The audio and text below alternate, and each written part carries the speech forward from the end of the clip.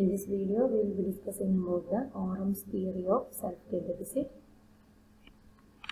This video will be about the background of the theorist, Orem's general theory of nursing, assumptions of the theory, and meta-paradigm of the theory. Coming to the background of the theorist, Dorothea uh, Elizabeth Orem, she was born in Maryland and her father was a construction worker and her mother is a homemaker. She developed the self-care deficit theory as the Orem's model of nursing. In 1934, she received her diploma at Providence Hospital. In 1939, she attained BSN in Education and Master of Science in Nursing Education in 1945 from Catholic University of America. She worked as uh, in the both clinical and in the uh, education side. In the clinical practice, she worked as a OT in the OT, pediatrics, adult and medical surgical unit, and uh, worked as a private duty nurse in the private homes. She is a director of uh, nursing service and director of School of Nursing at Providence Hospital, Michigan. And she worked as a staff nurse uh, and, and a private duty nurse, nurse educator and administrator, and nurse consultant during her career. She received honorary Doctor of Science degree in 1974. Her theory was first published in, uh, in the year of 1971 in Nursing Concepts of Practice and the second edition is in 1980 and 1995 and in 2001. So coming to the theories, uh, theory, uh, coming to the theory of the uh, or Orem's, Orem's uh, self-care deficit theory. In 1959, uh, she published the concept of self-care. In 1971, published the concept of practice. In 1980, 85, 91, 95 and in 2001, she published the second, third, fourth, fifth and sixth editions of the same theory. In the first edition of the theory, she was focusing on the individual. Coming to the second edition, she included the multi-person units, like, that is the family, groups and communities. And in the third edition, Orem's general theory of nursing, which is comprised of three uh, theoretical constructs, that is the self-care, self-care deficit and nursing systems was introduced in the third edition.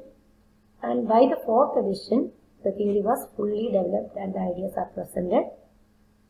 In the fifth edition, she provided an increased emphasis on the multi-person situation.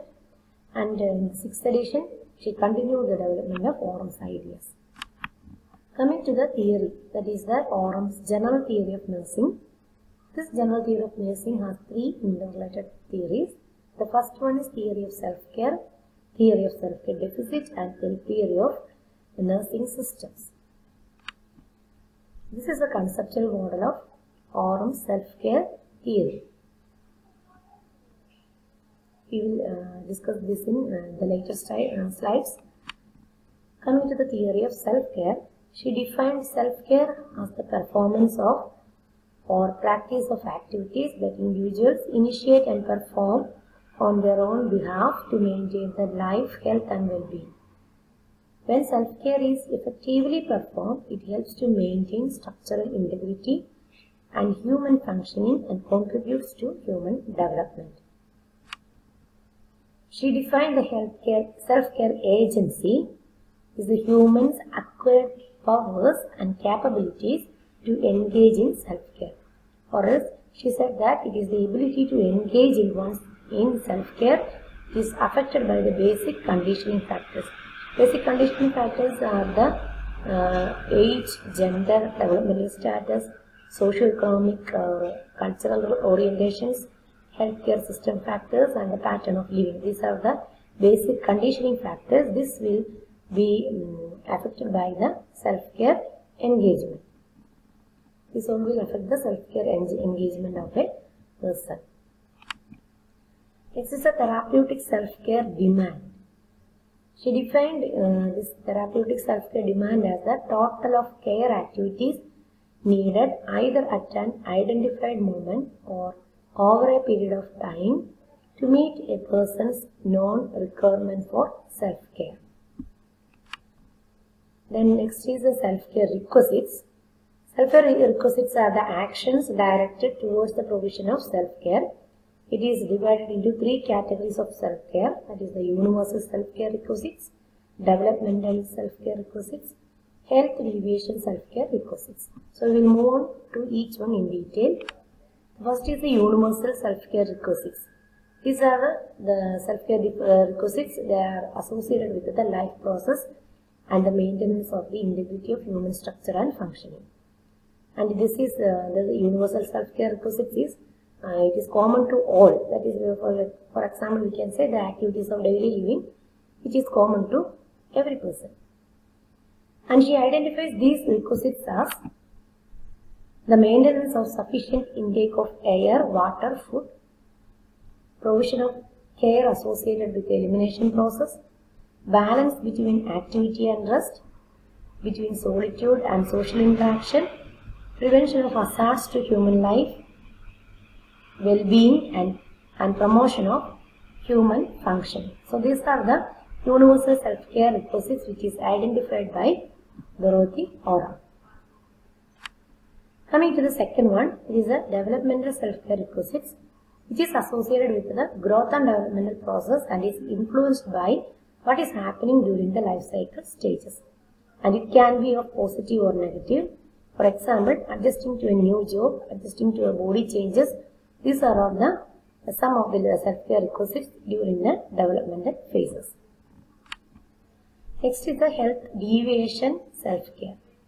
Health deviation self-care means it is the changes in human structure and function out of the range of normal and may be associated with genetic variations or other defects.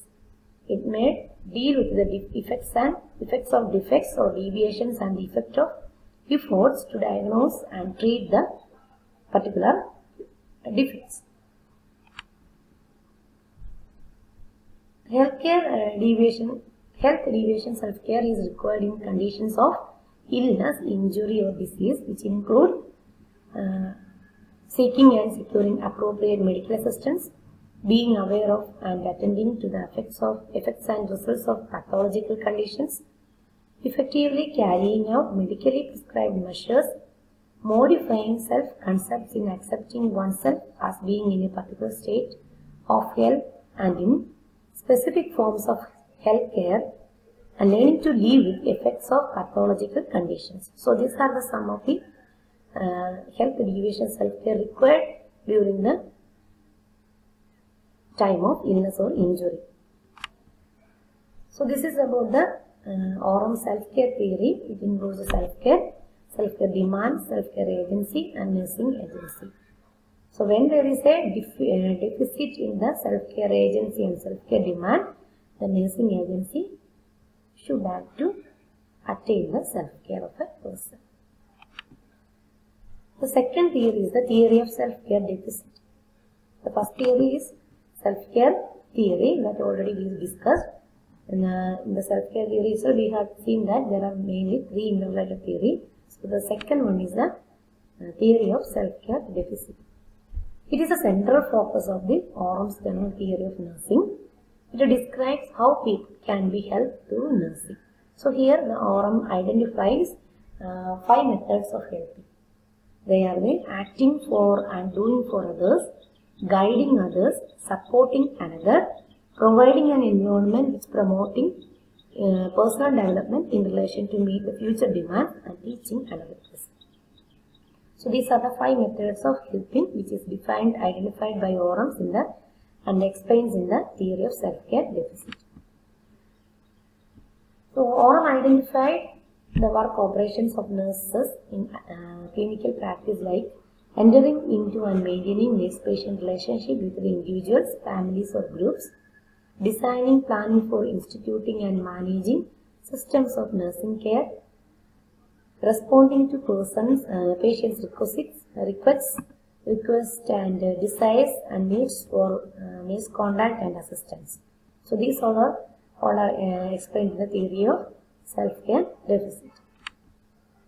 And also the nurse will be coordinate, uh, coordinating the nursing care, establishing the uh, kind and amount of immediate and continuing care needed, coordinating care with other services uh, such as other healthcare, social or education services which is needed or being received by the patient.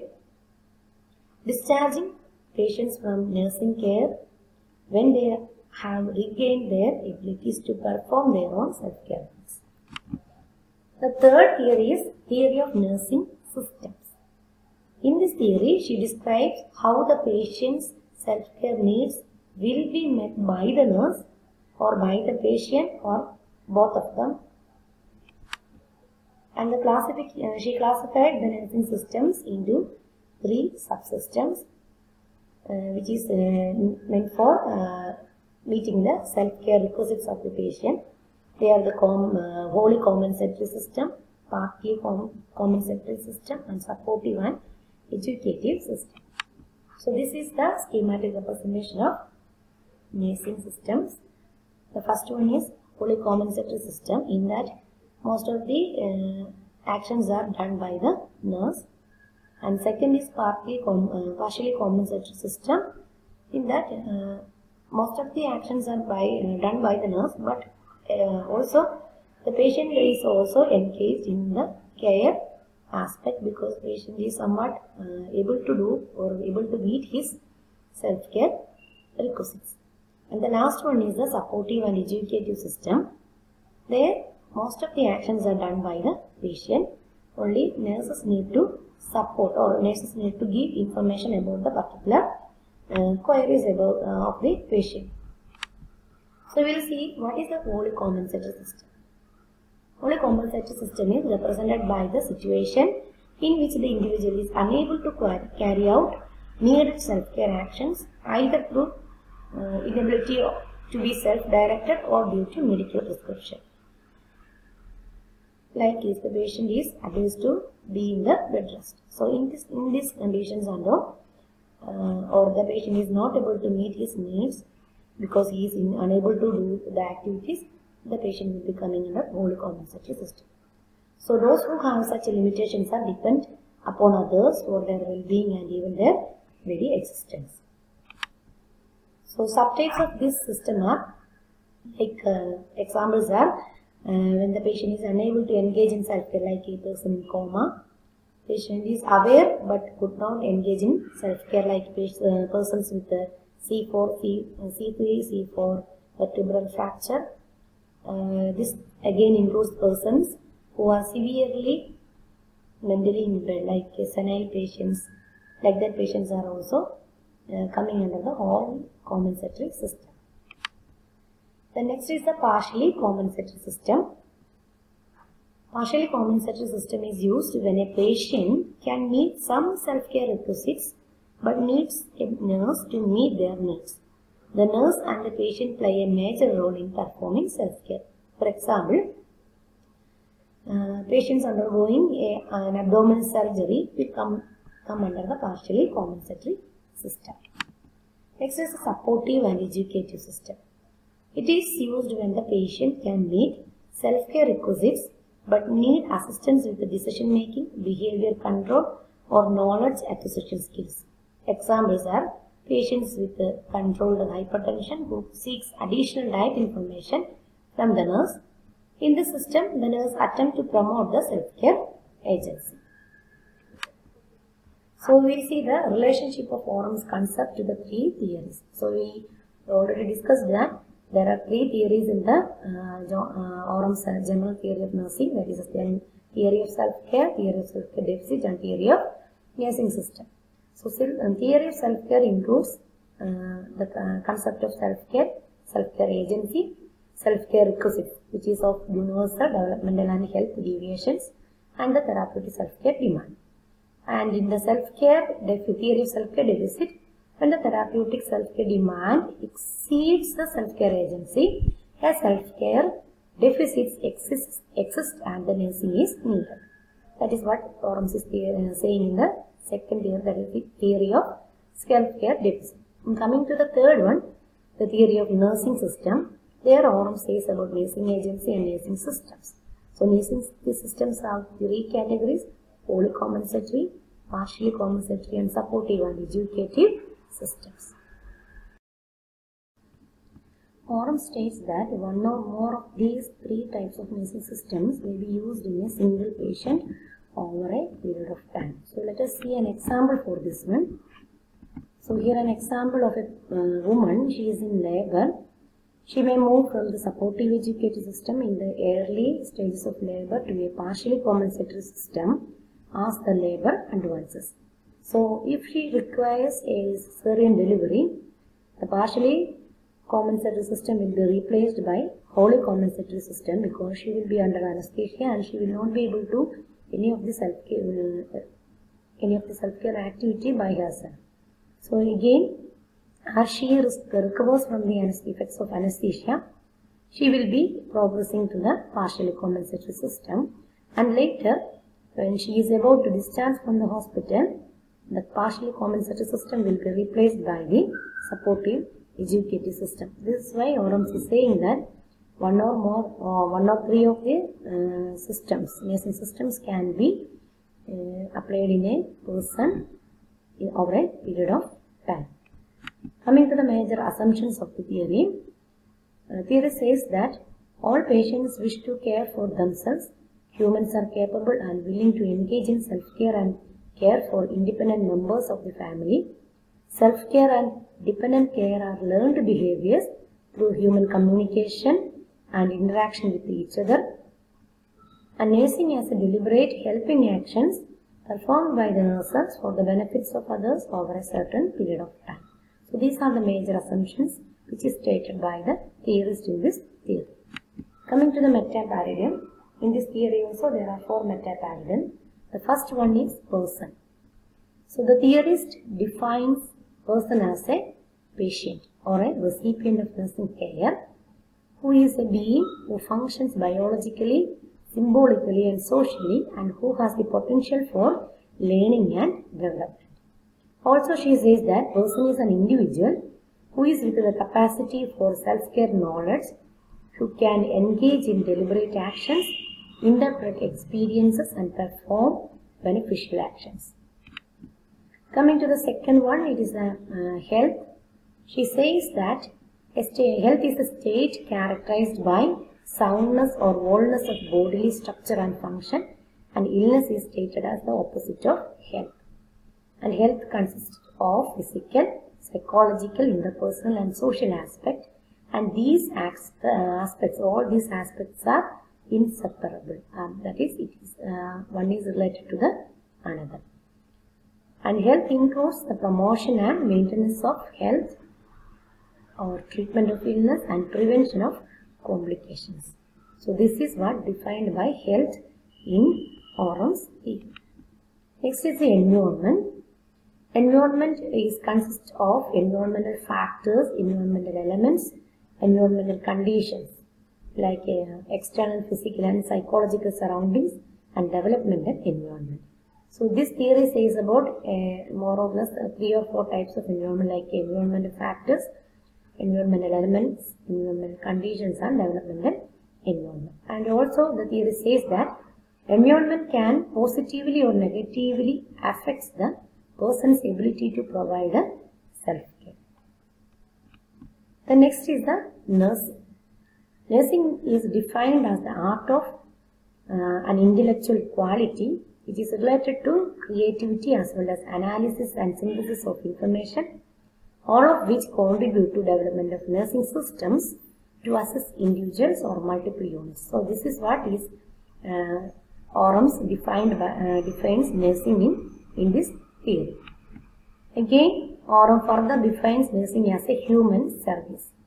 Nursing is distinguished from other human services by its focus on persons with inabilities to maintain the continuous provision of healthcare. And again, she stated some goals for nursing, that is, render the patient or members of his family capable of meeting the patient's self-care needs, maintain a state of health, to regain normal or near normal state of health in the event of disease or injury, to stabilize, control or minimize the effects of chronic poor health or disability. So these are the some of the goals of nursing which is defined by Orems in this theory. So thank you. This is about the Orem's theory of self-care.